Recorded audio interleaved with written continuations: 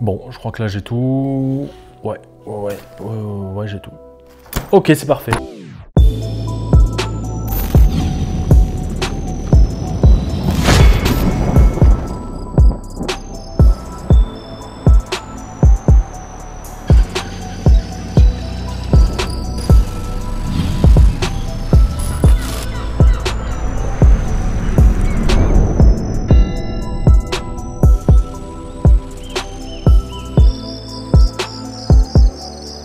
Salut tout le monde, j'espère que vous allez bien, c'est Maxence. Aujourd'hui on se retrouve pour une petite euh, vidéo review. Je vous avais posté ça sur Instagram en vous demandant si ça vous intéressait de savoir ce qu'il y avait un petit peu comme matériel pour pouvoir effectuer les épisodes de Tracorageuse. Et vous avez été assez nombreux à me dire, bah écoute, euh, ouais on aimerait bien voir, euh, voir un petit peu quel est ton matériel et quelle est l'utilité que tu as dans ce matériel-là. Donc pour commencer, on va prendre tout d'abord un réflexe, le Nikon D750 qui est un boîtier plein format 24 mégapixels qui aujourd'hui est un boîtier que j'adore par-dessus tout. À ça, j'ai ajouté une de mes focales préférées qui est le 24-35 de chez Sigma Art en ouverture constante f2. Il est non stabilisé, mais moi ça ne me gêne pas parce que j'utilise très souvent sur trépied pour euh, les photos d'orage. Et à savoir que sur euh, trépied, eh ben, on enlève la stabilisation quand elle est présente. Associé à ce boîtier, euh, j'avais sur les saisons 2, que sur la saison 2, j'avais un deuxième D750, euh, dont un que j'utilisais donc pour la photo et l'autre que j'utilisais pour la vidéo. Et celui qui était dédié à la vidéo, j'avais acheté une optique Nikon, stabilisée cette fois, qui est le 24-85 qui ouvre 3545. C'est pas une optique qui est extrêmement lumineuse, mais qui est ultra polyvalente. Et pour faire de la vidéo comme j'avais fait l'année dernière sur la saison 2, Franchement, cette optique-là, j'avais été super content. Celle-là, je la recommande. Une autre optique, et là, c'est même pas je la recommande, c'est elle est obligatoire dans le sac, c'est le 50 mm 1.4 de chez Nikon qui coûte à peu près 350 euros de mémoire si je dis pas de bêtises, à l'époque où je l'avais acheté en tout cas, qui a un piqué, une qualité d'image qui est vraiment euh, incroyable. Le 50 mm 1.8 est beaucoup moins cher, qui a une qualité qui est euh, correcte aussi, mais beaucoup moins piqué que celle-ci. Et franchement, le 50 mm 1.4, c'est une optique absolument à avoir, quelles que soient les marques hein, d'ailleurs, chez Canon, euh, chez euh, Nikon, à voir chez Fuji, chez euh, Sony, voir ce que ça vaut. Mais chez Canon et Nikon, je vous le dis, le 50 mm, c'est une focale obligatoire. Ensuite, j'ai un autre boîtier qui est un boîtier hybride. Cette fois, c'est celui qui est en train de me le filmer, c'est le Sony A7 III. Il est couplé avec un Sony Zeiss 2470 f4. Ça n'a pas une grande ouverture, c'est une ouverture constante à f4. Mais franchement, pour le Sony, je vous cache pas qu'avec la qualité optique qu'il y a sur ce Zeiss, ça fait vraiment le café, il n'y a pas de problème. Ensuite, on part sur toute autre chose, c'est les GoPro. Alors je dis les GoPro euh, parce que j'en ai une. Siglée GoPro, c'est la Hero 6, qui est une caméra qui franchement, à l'heure actuelle, même s'il y a deux générations de plus, donc la 7 et la 8, euh, fait encore largement le café, dans le sens où ça filme en 4K, ça fait du 1080 en 240 images secondes, il y a pas mal de petits pré-réglages qui sont les hyperlapse, les timelapse, les slow motion qui font aussi des trucs assez incroyables. Et on a une possibilité de colorimétrie par la suite sur euh, Premiere qui est quand même assez euh, intéressant, on va dire. J'ai en plus de ça, et c'est là où c'est très intéressant, une cage squelette avec deux powerbanks qui permettent en fait de plugger directement sur la GoPro la batterie et qui vient recharger en permanence la GoPro, et ce qui fait qu'on n'a plus besoin de se soucier euh, de l'autonomie de la batterie. Grâce à ça, en fait, ça me permet d'avoir une batterie qui tient l'équivalent de 2 à 3 batteries, si je dis pas de bêtises. Donc, on est quand même assez large en termes d'amplitude pour pouvoir se soucier d'autre chose que où est-ce que j'en suis au niveau de ma batterie GoPro. Ensuite, en termes de GoPro, toujours, on, va partir sur une GoPro, euh, ce que j'appellerais retartouf. C'est une GoPro euh, no-name ou euh, dite chinoise. Ça a le même form factor qu'une GoPro, hein. c'est d'ailleurs assez léger et tout. À la différence qu'au niveau des spécificités internes, on est loin d'une GoPro. Le capteur est beaucoup moins puissant qu'une GoPro, la stabilisation est beaucoup moins puissante qu'une GoPro, mais ça a le mérite d'exister et surtout ça coûte 50 euros. 50 euros, c'est le prix que je l'ai acheté il y a deux ans. Cette caméra, je l'avais achetée à l'époque pour pouvoir, tenez-vous bien, filmé à l'intérieur de la voiture. Donc vous voyez que ça a quand même une bonne qualité d'image pour faire du YouTube et par rapport au montage que l'on en a derrière. Son seul gros défaut qu'elle va avoir, ça va être au niveau de la gestion de la balance des blancs en automatique, où là des fois la balance des blancs est un peu capricieuse. Pour rappeler le prix, ça coûte 50 euros. Moi pour 50 euros et l'utilité que j'en ai, ça me convient parfaitement, à l'heure actuelle en tout cas. La caméra frontale, je vous la présente pas, celle qu'il y avait dans la voiture, parce que, pour être totalement honnête, c'était un téléphone portable, un Samsung S6.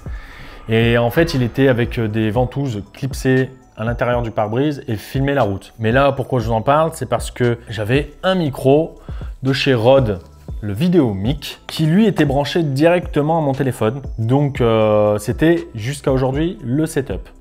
Voilà, ça va changer, je vais vous expliquer après pourquoi.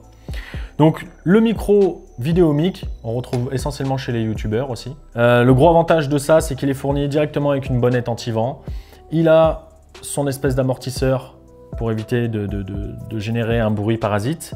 Et il a une alimentation euh, directement fournie par le boîtier euh, photo ou caméscope que vous allez utiliser avec une prise voilà, 3.5.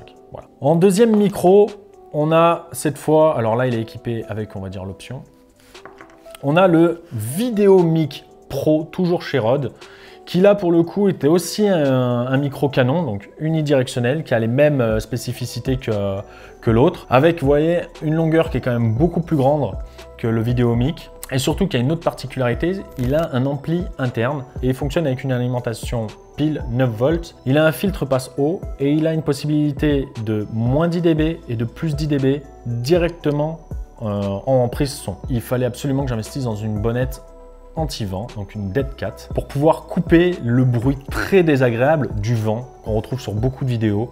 Et c'est là où je vais parler à tous ceux qui font des vidéos d'orage, c'est que les gars, investissez dans une Dead Cat. Ça vaut cher si vous l'achetez chez Rode et ça vaut que dalle si vous l'achetez ailleurs. Et ça fait vraiment le travail et ça vous donne un son qui mérite d'être écouté. Parce qu'aujourd'hui, le son dans une vidéo, c'est 50 à 60% d'une vidéo. Donc le son est vraiment très important. Ce micro-là, euh, je l'utilisais sur la saison 2 de Track Orageuse et j'ai arrêté par la suite parce que vu qu'il est unidirectionnel, quand un orage venait à euh, lâcher un coup de foudre, par exemple sur la droite ou sur la gauche, eh ben le son, quand on l'écoutait, il était sur les deux oreilles. Et je trouvais ça dommage parce que du coup, il manquait cette euh, dimension sonore que l'on a envie d'avoir sur ce genre d'image. Donc ce que j'ai fait, c'est que je me suis dirigé vers un vidéo mic pro stéréo. Et le gros avantage cette fois, ben, c'est que si j'ai un impact de foot qui tombe à droite, eh ben, j'aurai la sonorité à droite dans mon casque ou euh, sur des enceintes euh, home cinéma. Et là, je vous cache pas qu'en plus d'avoir le visuel, quand vous avez le sonore, ça apporte une toute autre dimension aux images. Truc aussi que j'utilise, que j'ai découvert et que je vais utiliser de plus en plus, peut-être pas sur les tracks orages, mais de plus en plus en tout cas pour d'autres euh, programmes, ça c'est sûr, c'est le moniteur. Le moniteur vidéo qui permet d'avoir une retranscription d'image euh, sur un écran de 7,7 pouces contre un écran de, je sais plus, enfin bref, euh, c'est tout petit, un écran Sony, euh, c'est à peu près grand comme ça. Ça permet aussi d'avoir pas mal de fonctionnalités, comme les zébras de, sur, de surexposition, le picking, donc qui est la mise au point lorsqu'on la fait manuel avec une délimitation de couleurs qu'on peut choisir. Il permet aussi d'avoir l'entrée possible via HDMI d'un signal 4K, une sortie HDMI aussi. On a beaucoup de réglages euh, internes. Alors, je vais pas vous faire tout le, tout le, tout le truc parce que c'est pas une review sur ça. Ça, c'est tip top si vous faites après des vraies productions. Euh, dans le sens où, moi, pour les orages, c'est pas quelque chose que je vais utiliser. Parce que si on vient, en schématisant, le mettre sur le boîtier, plus derrière, le micro, euh, je vais me retrouver avec quelque chose qui est vraiment lourd. Et, et en plus de ça, ce que j'ai peur, c'est que mis sur un trépied avec du vent lorsqu'il y a des orages, euh, ça, vienne à, faire bouger mon, ensemble. Donc j'aurai une image qui ne sera pas stable, donc pas jolie à regarder. Donc ça, je pense que je vais le réserver essentiellement pour des trucs plus posés, mais pas pour euh, du run and gun euh, vraiment lorsque l'on vient à traquer les orages. Ensuite, on va rester dans le son. On va parler d'un produit que j'ai reçu récemment. J'en ai parlé sur euh, l'un de mes lives, c'est le Zoom H6, qui est un enregistreur avec une possibilité de mixer directement le son en source. Donc on a déjà plusieurs petits micros de fournis, il y en a deux avec, que l'on vient à plugger directement sur la tête. Donc il nous fait une entrée son. On a deux entrées ici, deux entrées ici. On a directement les, euh, les tables de mixage qui apparaissent en bas de chaque entrée. Et euh, ce qu'il y a de super bien dans ce produit, c'est que on peut enregistrer en format Wave, qui est équivalent à si vous faites de la photo et que vous comprenez ce que je veux dire, qui est équivalent au fichier RAW euh, d'une photo, euh, alors qu'en l'enregistrant, souvenez-vous directement avec mon téléphone, j'avais un fichier qui était compressé type MP3, qui correspondait limite à du JPEG. Donc en termes d'équalisation par la suite, c'est très complexe. Alors que là, je vais avoir un fichier de très bonne qualité avec une amplification qui est vraiment mieux gérée. Donc en théorie, ça devrait donner quelque chose de beaucoup plus harmonieux euh, en termes de, qualité. Toujours dans un objectif de se dire le son dans une vidéo, c'est très important. Un autre produit que j'affectionne, mais alors tout particulièrement parce qu'il donne une dimension aux images que j'affectionne beaucoup et que vous affectionnez. Oui, on va parler du Mavic 2 Pro. Là, c'est le kit Flymore Combo et je vous le dis honnêtement, j'en suis alors complètement fan de ce drone parce qu'il a une qualité d'image et il permet des choses qui sont vraiment incroyable. Par rapport au Mavic 1, on n'est plus du tout sur la même taille de capteur, c'est un capteur qui est deux fois plus grand. Et surtout, on a une capacité d'avoir une, ouverture variable. On commence à 2.8 et on finit à F11. Et bien rien que ça, mine de rien, ça fait vraiment aussi la différence. On a pas mal de ce que je vais appeler de presets de pilotage qui sont euh, le suivi, qui sont euh, les modes cinématiques, les modes trépied, enfin voilà, il y en a vraiment plein plein plein.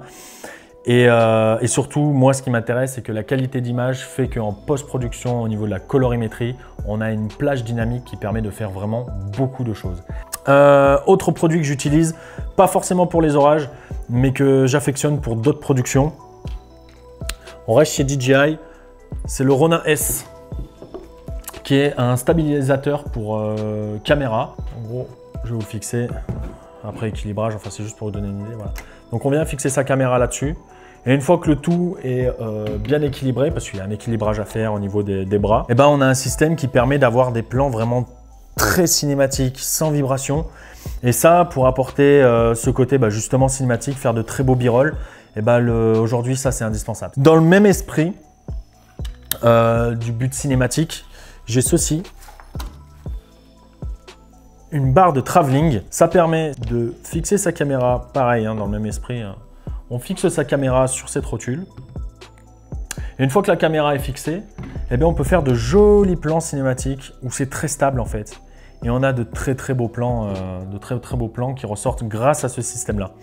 Pourquoi je l'ai pris en 60 cm Parce que en fait ça permet d'avoir un, minimum d'encombrement, parce que c'est quelque chose qui n'est pas pliable hein, après ou démontable. Hein. Ça reste comme ça, hein, la barre de travelling. Euh, là, celle-là, elle est en, carbone avec euh, pièces en aluminium.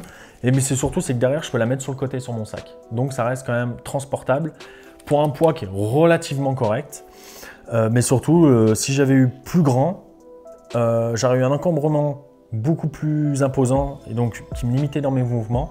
Et puis surtout, c'est que quand je viens faire mes travelling, il faut qu'il reste, vu qu'il n'est pas motorisé, il faut qu'il reste ultra fluide. Et le problème, c'est que si je prends très grand, eh bien, voyez l'amplitude que je vais avoir, j'aurai pas la même puissance dans mes bras en fonction de comment je passe par rapport à mon corps. Et en plus de ça, si je veux avoir un visu sur mon écran arrière ou sur mon moniteur, eh ben, il va falloir que je me penche en même temps et ça va être vraiment la galère et mon plan va pas être beau. Donc du coup, plus de 60 cm, c'est faisable, mais euh, je pense que ça demande plus d'entraînement et c'est pas forcément adapté pour toutes les situations. En tout cas, là, le 60, pareil pour moi pour les, saisons, les épisodes de la saison euh, de Orageuse. Euh, ça va être utilisé sur des plans plus tranquilles. J'arrive sur un lieu, je vais l'utiliser, voilà, des petits plans de présentation, des petits plans cinématiques, et derrière, on va passer dans l'action. Donc ça, c'est vraiment tip top pour faire du, type cinématique. Voilà, que dire de plus? Ah si, bien sûr, c'est l'élément, je l'ai gardé en dernier exprès, c'est l'élément le plus important, ce sont vos données. Que vous veniez à perdre du matériel ou à casser du matériel, ça arrive.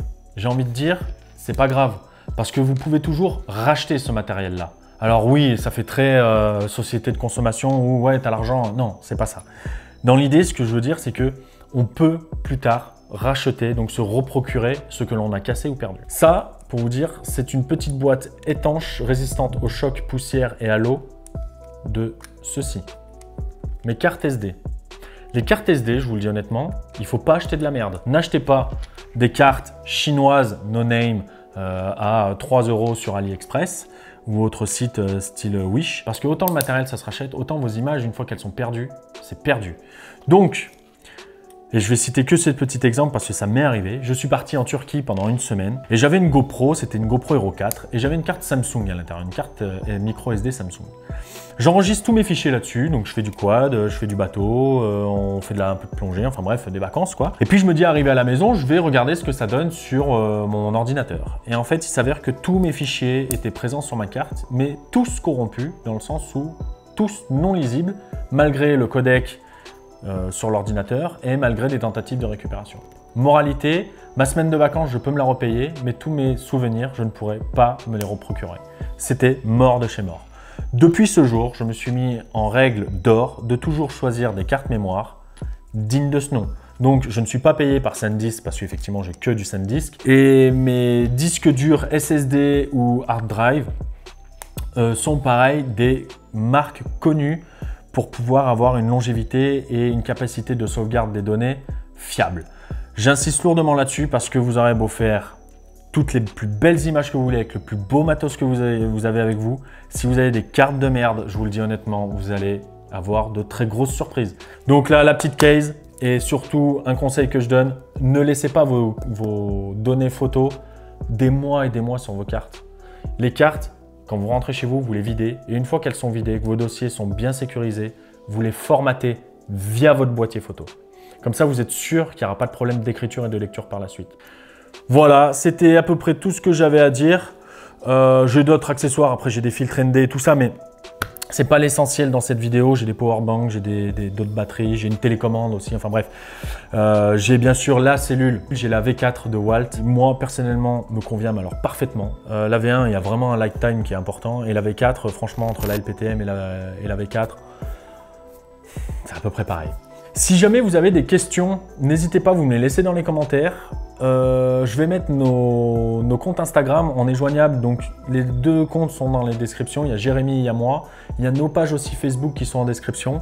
Et si jamais vous avez des questions sur où est-ce que tu achètes ton matériel, oui, ça, ça m'intéresse comme référence, est-ce que tu peux me donner le lien N'hésitez pas, vous me contactez via Instagram vous me contactez en privé et je vous répondrai avec les liens si je les retrouve et ça sera avec le plus grand des plaisirs. Si jamais ça vous a plu, vous mettez un petit pouce bleu. Si vous n'êtes pas abonné, je peux que vous inviter à vous abonner. Vous mettez la petite cloche des notifications. Je fais souvent des petits lives. J'essaye euh, de sortir l'épisode 2 de la saison 3 début janvier 2020, mais je vous promets vraiment rien avec les fêtes. Je vous remercie mille fois d'avoir regardé cette vidéo. Je vous dis à très bientôt. Ciao